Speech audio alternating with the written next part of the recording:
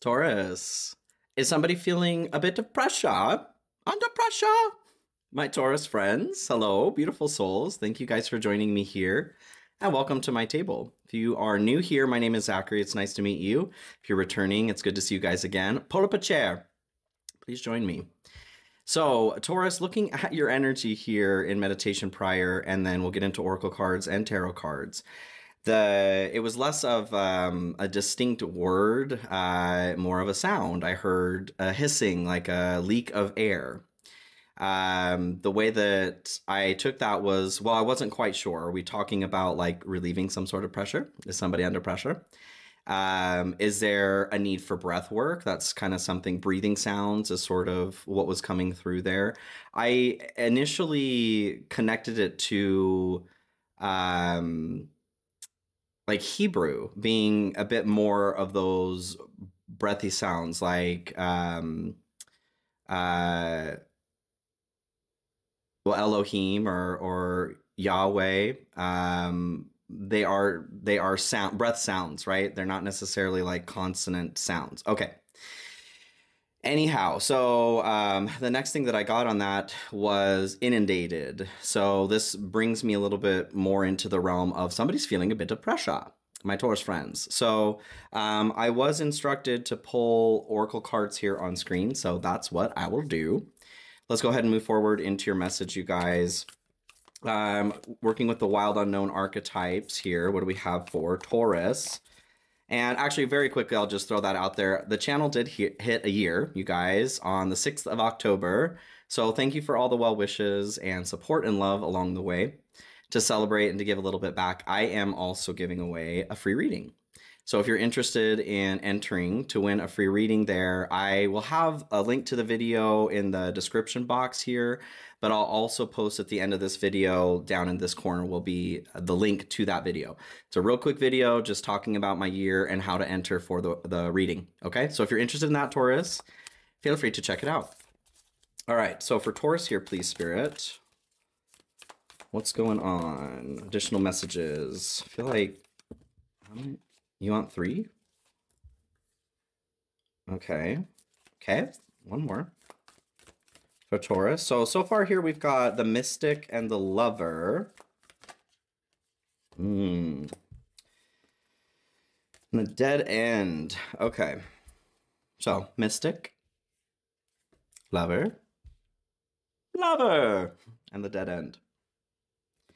So, when we're coming back to looking at pressure, relieving some pressure, um, I feel like somebody here is going through a bit of a growth spurt, um, spiritually speaking, and this this does feel initiated, okay, by Taurus. No,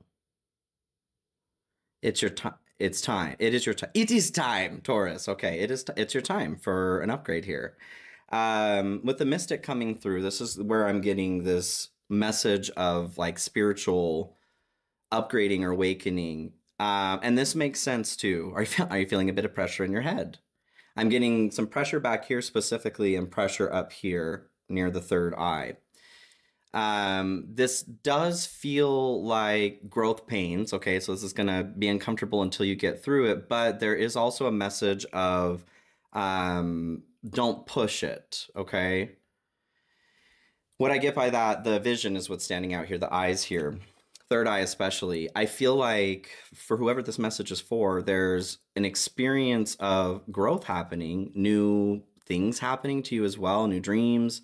Uh, maybe you're you're seeing things in a different way. You're seeing things behind things that you've never seen before, and uh, it's uncomfortable. And because of this discomfort, you may be reaching to um, to see or understand what's going on, which makes sense, right?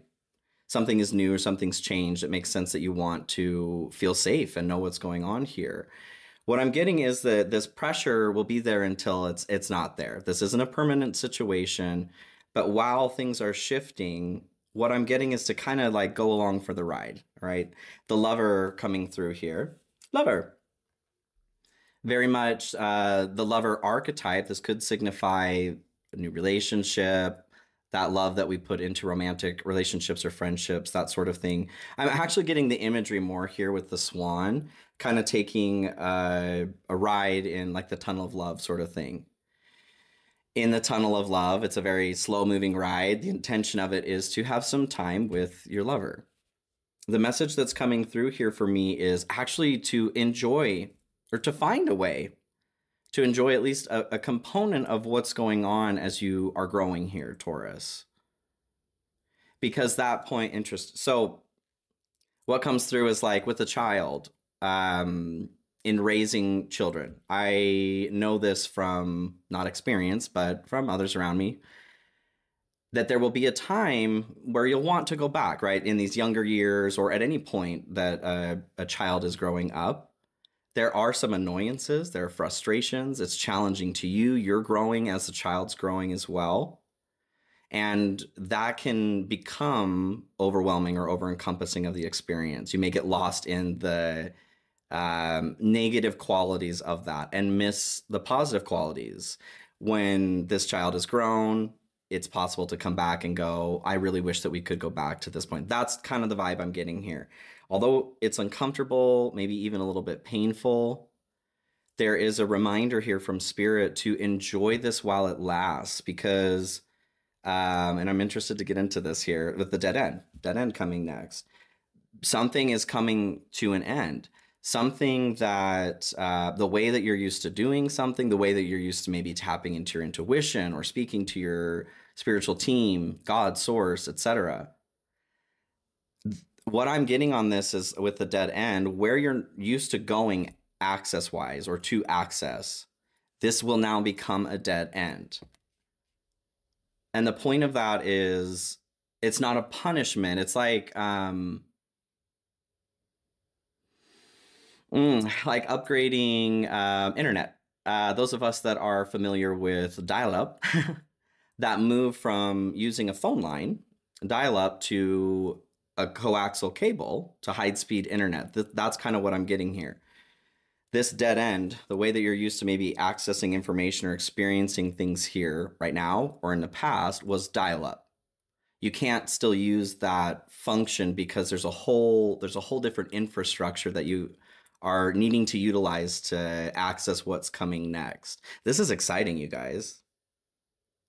Okay, let's keep going here. Which uh, any other We'll get into the Animal Spirit Oracle, Wild Unknown, for Taurus, please. Major changes. Taurus making changes. I like it. I feel like the reason... the reason this is um, maybe more uncomfortable, especially for you, Taurus, is this comfort component. Um, comfort is very, very important, right? This is not comfortable. So what I'm getting is, like I said, we're not pushing the third eye sight. We're not trying to figure things out. We're going along for the ride here and waiting to see what's coming next. And we'll get into the reading, see what's next. So crow is what comes out here for you. Because of course, I feel like you guys are ready to see what the crow sees, to see what the shaman sees. This is magical sight. Again, this upgrade, like I said, from dial up to, to um, high speed internet that's what this is symbolizing here. Yeah, someone's getting a major upgrade. I am getting this component of like dizziness, especially if somebody is experiencing dizziness.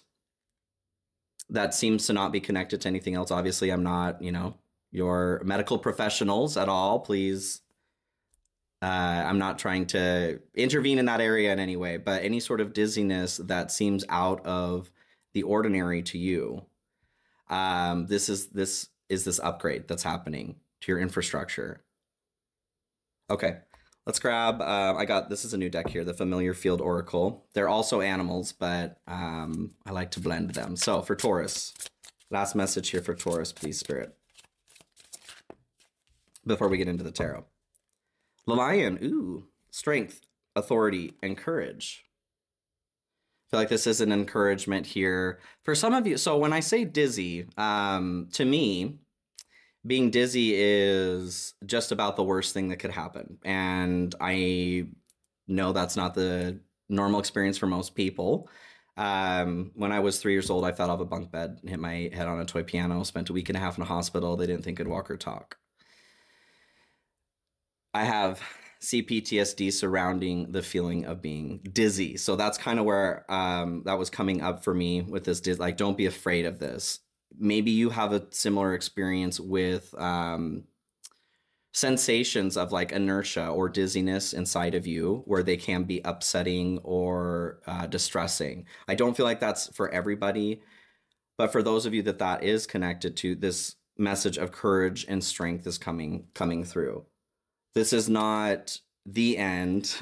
okay, there's a dead end coming through here, but um, you're safe, is what I'm getting. You're safe. Okay, let's get into your tarot messages here. We'll do the Black Seed Tarot to start for Taurus. This is a new deck as well. What do we have here for Taurus, please, Spirit? And um, huge shout out to my channel members. You guys, hello, hello. Thank you for your love and support. If you're interested in becoming a channel member yourself, there's a link in the description of this video. There's a join button next to the subscribe under this video as well. Feel free to hit subscribe if you haven't already. Knight of Wands falls out here. I feel like an opportunity to um, bring some intense creativity and energy back into your life. Have personal readings open and available if you guys are wanting some help with something a little more personal. As this is a general message, feel free to check out my website in the description of this video too. Okay, my Taurus friends. Taurus. Two of Swords here at the bottom. So this is your hope, hopes and dreams, um, aspirations, even. Making a decision, being at a crossroads, feeling stuck between a rock and a hard place. Um, I feel those of you that this message is for, is resonating with, you are already aware of this pressure. This to me is wanting, you hope to get out of this pressure. This is not comfortable. Feeling stuck between where you've been or what you're used to and not knowing how or not used to being able to access what's coming next, that sounds uncomfortable to me. That doesn't sound like comfort. Um, cool. So let's go. We'll do the Curious Travels tarot deck here next. What do we have here for Taurus, please, Spirit? The devil falls out. You get the devil. Yay some shadow work. Hey, there's the two of swords the split as well. And interesting, this one, um, I know you're a bull, but this one has a cow. Cow on there, kind of your family, right? What do we have here for Taurus, please, Spirit? This is a general message, like I was saying. You guys are hella smart. Please use your head, heart, and intuition to decipher which of these messages are for you, if they are. And if they're not, please leave them behind. Um, no need to leave me comments on how this didn't resonate. okay. um, yeah, let's get into this. What do we have for Taurus? Check out any other placements in your chart as well, you guys. We do have every sign in our chart. So if you're looking for additional input or messages, feel free to check out the other signs. Three of Cups here at the bottom. So this is your fear aversion. Um, I do feel like there's a little bit of um, anxiety surrounding hanging out with others, maybe even going out into public at this at this time. I think with those of you that are going through this shift, this feels like a major thing. Um, I do very much get shaman energy, not qualifying that you are exactly shaman, but that energy is what's coming through here. Healers and shamans activation time. Okay. Um, I, I feel like this is nerve wracking for you to get together with others right now because of the shifts, shifts that are happening. It's uncomfortable. Maybe you don't know which way's up. okay, so general here to start, Taurus. Wheel of Fortune. Yes. So this is um this is out of your hands. Activation time, like I was saying. Uh healers and shamans. We're at that we're at that time, right? uh, as everything is crumbling hmm. in many ways around us, there is a point where a rebound building will take place. It must take place. With the Wheel of Fortune coming through, this is telling me that, like, like I said, now's the time. Now's the time. Wheels turning. These actions are out of your control, but they're for the betterment of you and everyone around you as well. Be not afraid of this process. Your responsibility right now is to determine how you're going to respond to this movement. I feel like somebody may be trying to adjust it or change change the direction of the wheel. This is uncomfortable. I'm not ready to do this. Taurus, you guys are super solid in your decision making. Some may say stubborn. I don't know. If there isn't an action or if there's an action that you don't want to take, it will not be taken, right? Unless God comes down and and forces you to do that. This feels like and I don't mean force, it's just um, this is a part of the design. This was a part of your blueprint, is what I'm getting. Components of your access to higher experience and knowledge is what's being activated right now. So let's go for the ride. Okay. Um, Five of Pentacles comes in to clarify this. I think that this, well, this might be a part of, for those of you that may be struggling to go go with the ride here. Five of Pentacles, this is um, feeling abandoned, feeling hopeless, out in the dark, out in the cold. This warmth, war- this warmth, I feel like is um, what you're used to information wise access like i was saying earlier your intuition in meditation. And what i what i mean by that is um because i've noticed this how do you, how do i describe that spirit? In in my own development of things uh i'm still working with the same energies my same spirit guides team you know ancestors all of that what I've noticed has shifted though as I've grown is it's almost like the describe that because it's not really a like the way that the energy is coming in the energy signature is the same but there's something a little bit different about it like a little bit more rich to the voice or the energy that's coming through. I'm really trying to describe this you guys. I'm having a hard time. But that's what it that's what you guys are, are going through here. So let's say there's one guide in particular you're very familiar with working with through this upgrade that voice or that energy as it comes in may seem um not totally unfamiliar to you but like something feels different something feels off about this message. Maybe you're used to receiving messages more from this side and it switches to this side or you see what i'm saying? Um being able to perceive those extra layers of energy are are coming from relaxing here stepping away from your access point to information in the past and allowing the inner sight to grow without force naturally. Because it's going to take you to a point where you'll be able to access everything the same. I know somebody knows what i'm talking about here okay? Feel free to uh to, to validate that or if you're experiencing this yourself. But you guys are moving um, you're moving back up into the sky here. They've got like a broken pentacle. This i feel like is your communication piece. This used to work. What's going on here? It's still it's still um, you're still getting information. These hands coming down here are your guides your spiritual team lifting you up into a place where you feel supported. All you need to do is look up okay let's move forward here So good stuff coming through for you guys. The High Priestess, of course, yes. Yes. So this enlightenment, you guys, this is the subconscious. These are deeper truths, secrets even. um, being in your good stuff here, exactly what I'm talking about. You guys are going through this upgrade. The High Priestess is coming into your cognizance or subcognizance, coming through your subcognizance and inviting you to take a trip on the river here of knowledge. This safe passage that you're receiving on the river here too because we can i mean we can try to access that river at any time. Um, i feel like without her being willing to share this knowledge there's always a chance of slipping into insanity. There's a lot all the information there in the river right so you're being guided to exactly where you need to go to get to the right spot in this river, get across the river, however you want to look at that, to access greater knowledge through this upgrade. 20 exactly on the timer there. Um, Seven of Wands comes through here to clarify the High Priestess.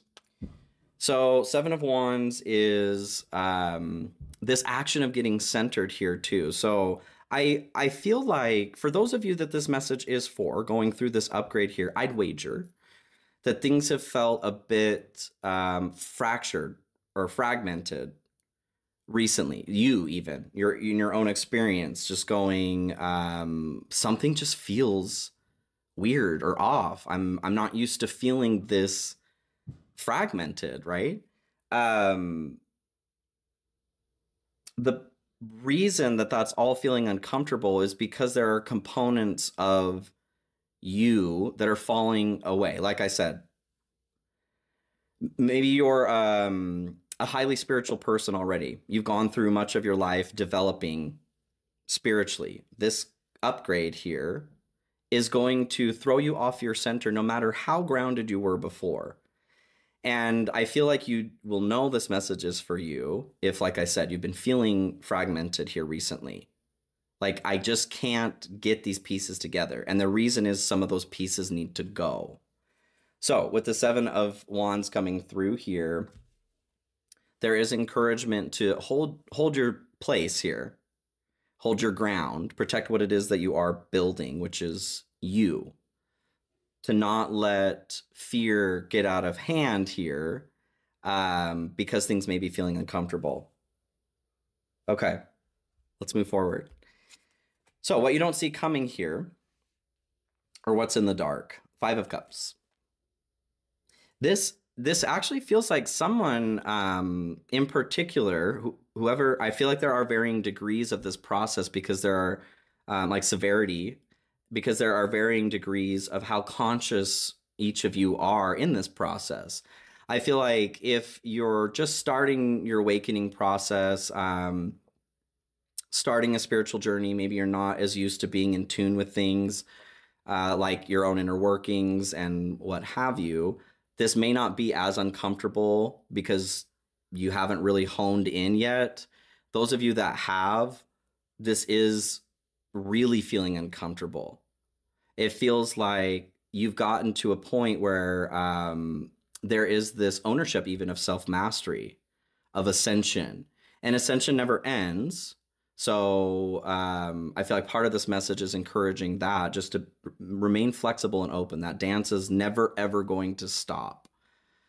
But this feels more like forsaken is what's coming to mind. Five of Cups is about disappointment or regret.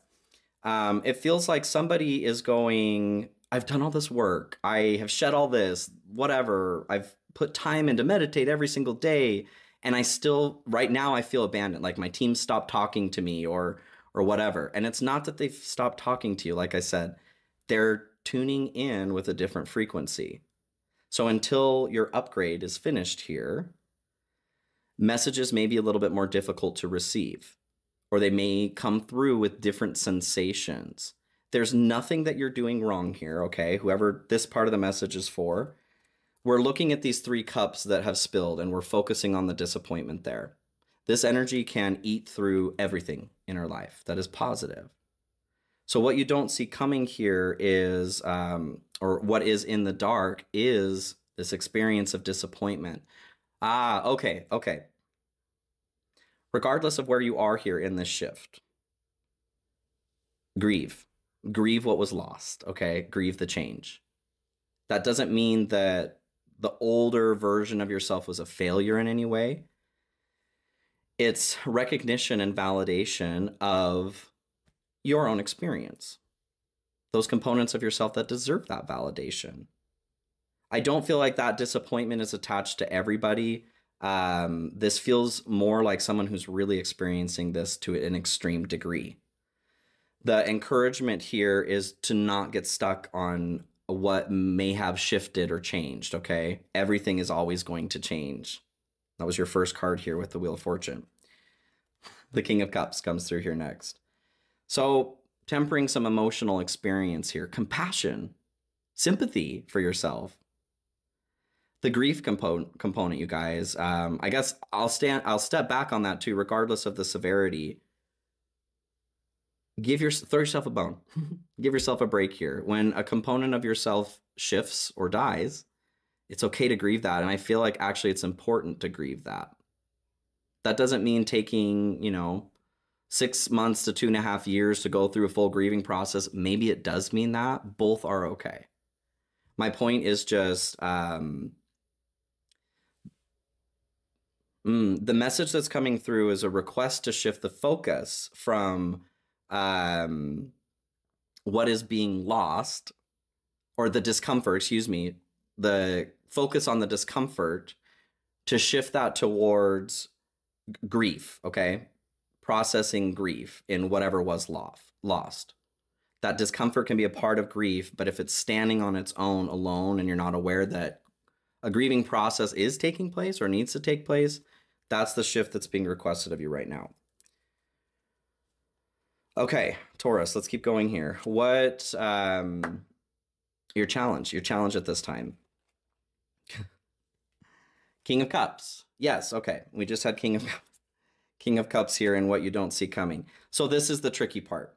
Exactly what I was just saying there. It feels like you guys need to I keep getting this like a mini funeral is what's coming through here.